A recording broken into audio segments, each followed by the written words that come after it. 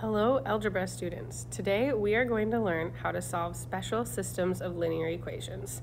In the past, when we've solved special equations, it has been equations with either no solution or infinitely many solutions. The same is true today. Now, so far, we've solved systems of equations that had one solution. That would be like this first example, where the solution is the point where they intersect.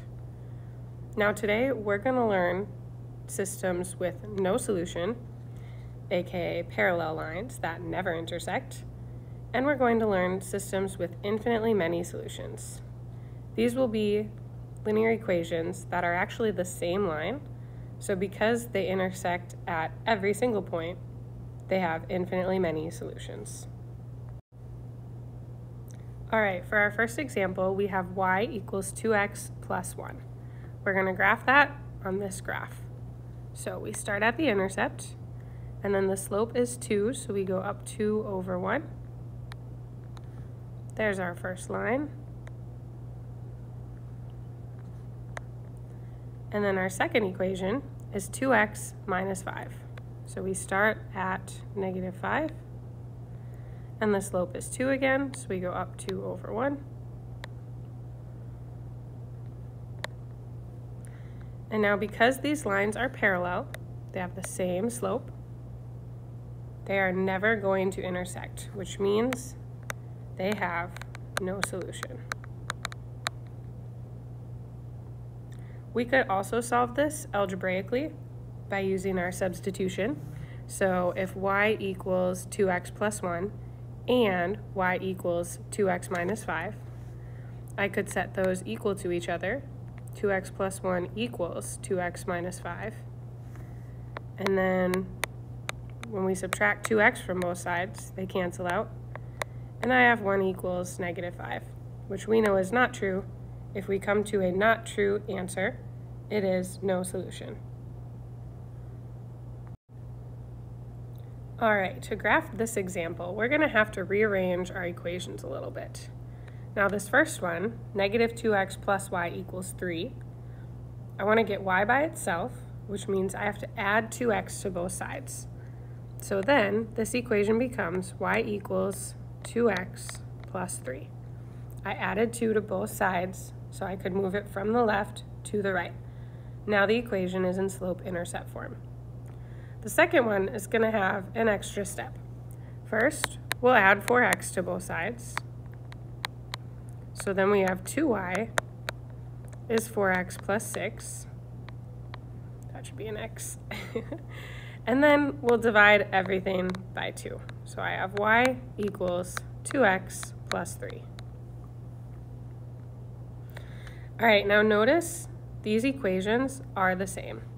So I can graph them. The intercept is 3. The slope is 2x they're going to be the same line, which means they intersect at every single point, which means they have infinitely many solutions. We could also solve this algebraically. So if I use this equation and substitute 2x plus 3 for y, I would have the equation negative 4x plus 2 times 2x plus 3 equals 6. If we distribute the 2, I have negative 4x plus 4x plus 6 equals 6. Well, negative 4x plus 4x is going to be 0. Then I have 6 equals 6, which is true, which means it has infinitely many solutions. All right, I want you to try to solve both of these on your own. You can solve them with graphing or you can solve them algebraically. So pause the video and then come back and see if you got the right answer. All right, I will also solve them. Um, A looks to be an easy one to do elimination with. So if I multiply this first equation by negative 2, I have negative 2x minus 2y equals negative 6. Now if I add these equations together, the x's cancel, the y's cancel, so we're left with 0 equals negative 6 plus 6 cancels. So 0 equals 0. Because this is true, it has infinitely many solutions.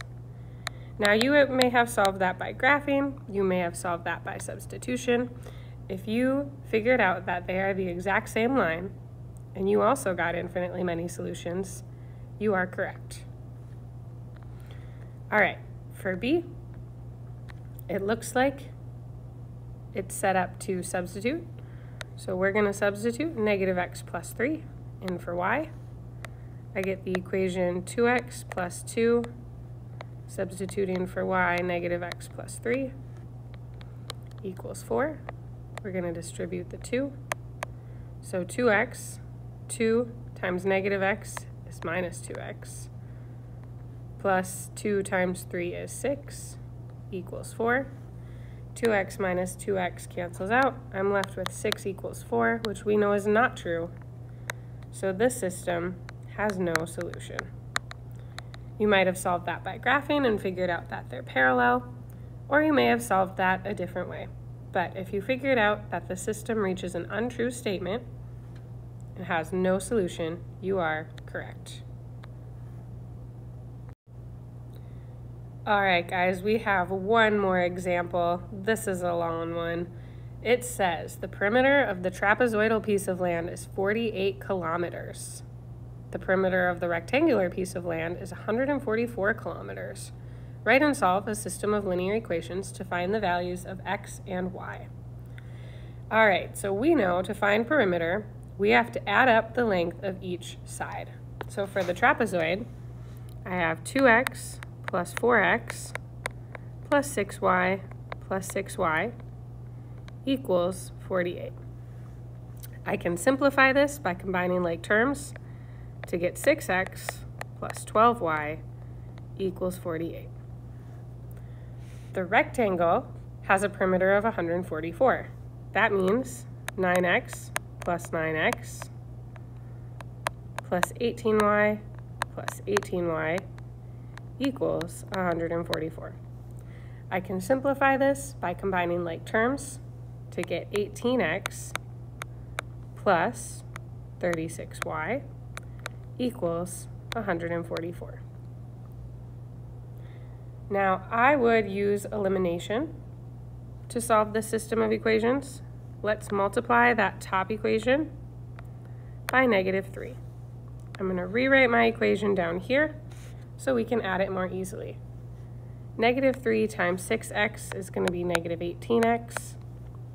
Negative 3 times 12y is going to be negative 36y. And negative 3 times 48 is going to be negative 144. Now when we add these together, the x's cancel out, the y's cancel out, and the number on the other side cancels out. So we're left with 0 equals 0, which is true. So this system of equations has infinitely many solutions.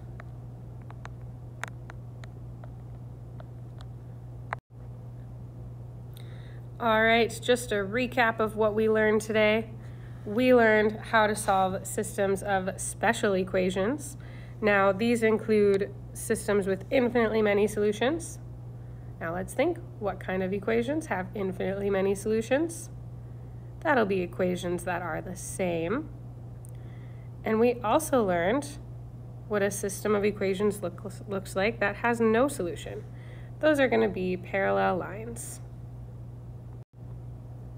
Thanks for doing the notes video today. Please see Canvas for further instructions.